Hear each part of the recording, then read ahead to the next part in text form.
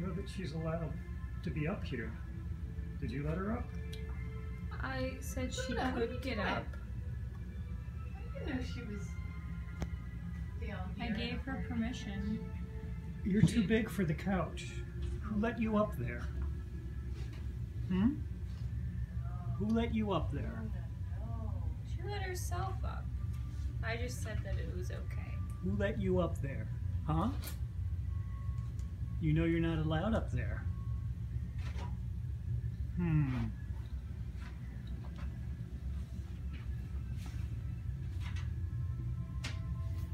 What are you doing up here? No. No. Wagging the tail's not going to help. You're not supposed to be on the couch.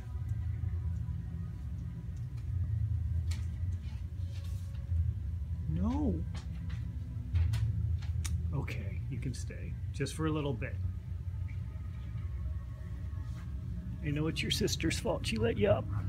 No, it's not. It is your fault.